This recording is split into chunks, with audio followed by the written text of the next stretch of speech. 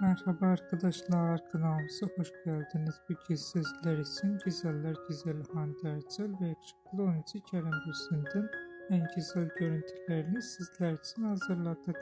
Kerem Bürsin ve Hande Erçel çifti Sen Çal Kapımı dizisinde rol almış ve sevgili olmuştular.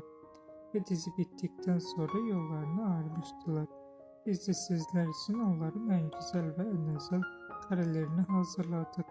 Bu videoların devamı gelmesini istiyorsanızsa kanalımıza abone olup yorum yazmayı unutmayın. Kanalımızda daha birçok video bulabilirsiniz. Bizi izlemeye devam edin. Herkese teşekkür ederiz.